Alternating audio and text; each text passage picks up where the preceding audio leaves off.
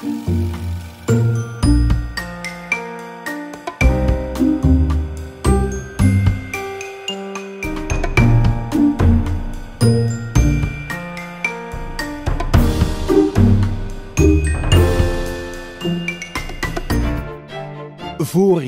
2020. Consumptievlees wordt alleen nog gefabriceerd in laboratoria.